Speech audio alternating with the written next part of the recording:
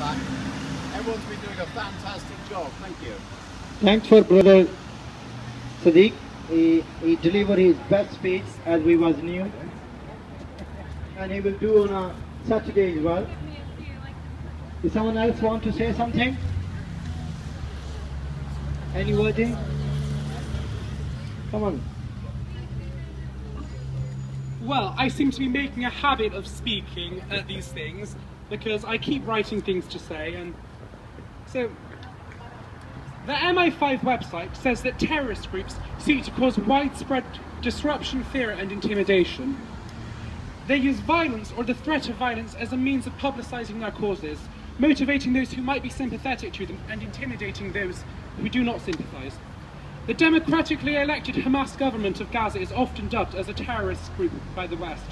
To the West, the rockets launched by Hamas are nothing but aggression. They are nothing but a group of angry brown people who they see as anti-Semites.